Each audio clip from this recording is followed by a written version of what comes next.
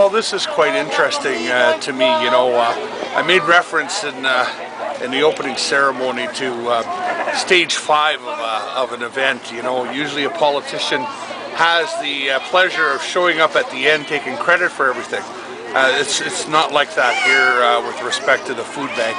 This is a community event, a community endeavor and you see the support not only the schools but the uh, uh, the other not-for-profit organization, the churches, uh, the individuals that live around Callander. There is no doubt a need, and you know it, it tears at your heart uh, uh, when when there's a need like that. And uh, I'm so proud of Callander and its residents for coming together like this.